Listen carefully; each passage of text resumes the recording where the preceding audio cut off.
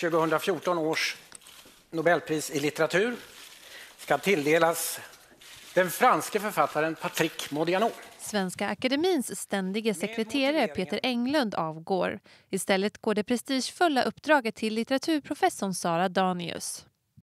Nyheten kom under akademins högtidssammankomst på lördagskvällen och lämnades inför den samlade akademin och kungafamiljen. Peter Englund tillträdde som akademins ständiga sekreterare 2009. Och så här kommenterade han sin avgång till Expressens reporter. Eh, jag tillträdde och då var tanken att jag ger detta sex år eh, och det var överenskommelsen. Sen har inte det varit säkert för att jag måste också ha en väldigt bra efterträdare. Och nu har jag en väldigt bra efterträdare. Kan du säga någonting om Sara? Sara? Jag tror, jag tror hon kommer klara av det här jobbet bättre än vad jag har gjort. Vad, vad ska du göra nu?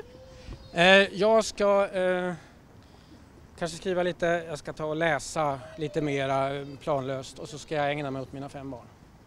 Varför valde du bara sex år? Det var det som var sagt, sex år. Just därför att jag har annat också i livet.